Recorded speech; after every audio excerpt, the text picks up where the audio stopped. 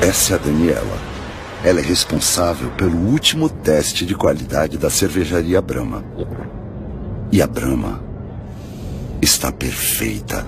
Por isso ela está se sentindo rigorosa, poderosa, uma deusa. Você me manda. Quando você se sente, isso pede Brahma. Beba com moderação. Rosana! Como é que você se sente tomando uma brama? Uma super deusa. Sério? Por quê? Porque a